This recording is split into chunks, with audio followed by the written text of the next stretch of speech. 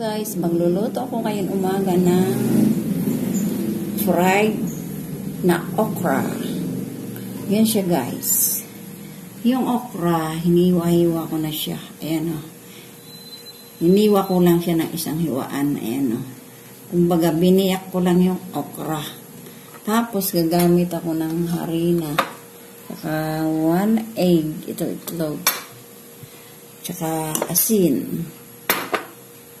Ayan siya guys. Saka paminta. Ngayon guys, ang gagawin ko dyan, atin lang siyang hahalo-haloin. Ayan.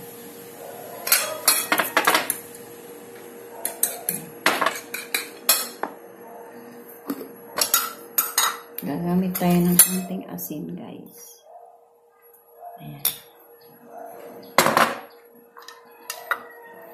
Ngayon guys, ang gagawin natin dito ay mimix na natin.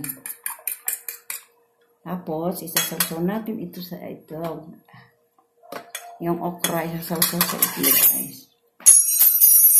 So, hinawad yung aking kutsara. Tapos, isawsaw sa itlog sa harina naman guys. Ayan, guys. At inahandang pamerito. Ayan. Sausaw sa itlog. Tapos, harina. Ayan. Para madali siyang lutuin. Halos sabay-sabay natin ilagay sa harina. Ayan. Ba guys? Ayan. Ngayon, handa na natin ito pamerituhin. Para mas mabilis siya. Sa amin, dumaan na naman yung pandesal. Ayan, guys. Almusal ko ito ngayon, guys. Wala akong maisip na ulam sa almusal na maluto. Ngayon, ito na guys yung ating mga fried na okra. Nilipat ko lang yung aking camera guys. Ngayon guys, magpipirito na tayo ng fried okra. Ito na guys. Nakapagpainit na ako ng mantika guys.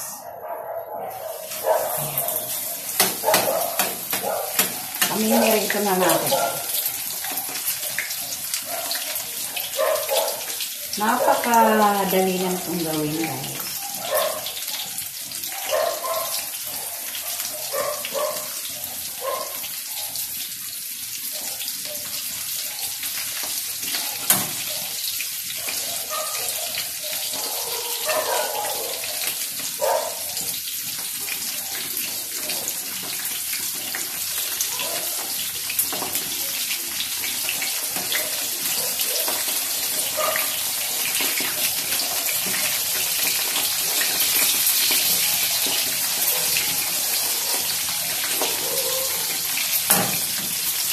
Napakasustansya pa nito guys.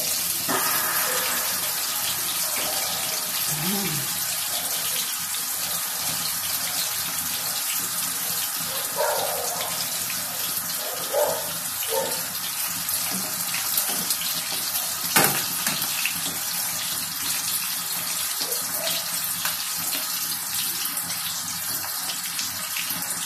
Lang natin guys ang ating lotoin.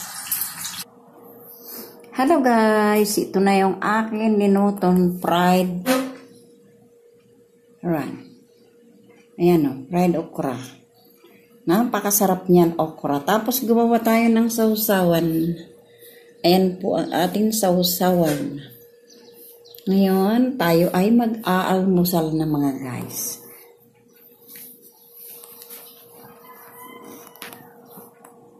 Almusal na tayo. Titikman natin yung ating pork na ano. Takin muna natin itong ating ano. Kunting asukal na sausawan, guys. Yuhuy. Mayroon yan mahanghang na sili. Yuh. Di ako mahilig sa mahangang pero dahil kailangan, hmm, di ko naman siya pinika. Mag-almusal na tayo mga guys. Ayan na. Kainan na. Saan ko ba ito ilalagay? Mga guys, titikman muna natin yung ating fried na okra. Yan siya guys. Napakasarap nitong almusal natin. Hmm. Ayan na siya guys. Tikman natin. Haham. Ang sarap. Hmm. Nag-match dito sa ating sausawan na suka, tuyo. Nilagyan ko ng sibuyas, dahon ng sibuya. Nakasiling mahanghang. Hmm. Ayaw ko siya pisain, guys. Yan. Ay na na. Tayo ay mag-almusal na. Hmm. Asim. Maasim may suka. Hmm. Sarap. Ayan na tayo mga guys. Kasi,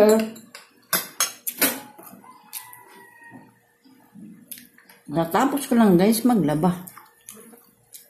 Nagugutom na ako kaya ito na lang naisip ng lutuin. Hmm. Ang sarap pala ng okra na fried. Hmm. Napakadali lang siya lutuin mga guys.